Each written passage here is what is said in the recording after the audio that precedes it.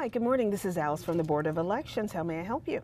We have an incredible bipartisan staff of election officials here at the board. You know, they have been working long days, evenings, weekends uh, for weeks preparing for today. Great. What location are you calling from? I first began here in elections almost 20 years ago. So we had paper poll books at that time. Those are now replaced by iPads that we use to check the voters in. When I first started, we voted on punch cards. You know, we now have the um, paper ballots that the voter marks and then feeds into scanners. So technology is becoming, uh, you know, a bigger and bigger role in elections.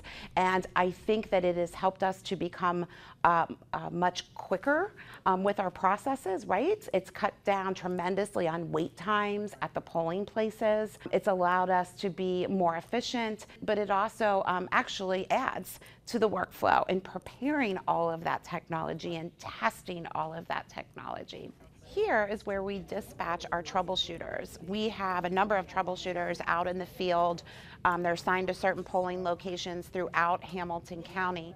If a problem arises that the, we cannot answer over the phone, then um, one of our team members will dispatch a troubleshooter who will report to the polling location um, so that we can get the problem resolved quickly. Gotcha. Okay. Well, I'll just close it out on this end. They have backup equipment, they have backup supplies, um, everything we need to keep voting going all day long with no interruption. What's your situation? How important is it to have something like this? Oh, it's absolutely important. I think we actually worked with our vendor to develop this system. It not only allows us to resolve problems consistently and quickly, it also provides us with some really good data to examine after election day so we can see where we might need to tweak some of our training or processes.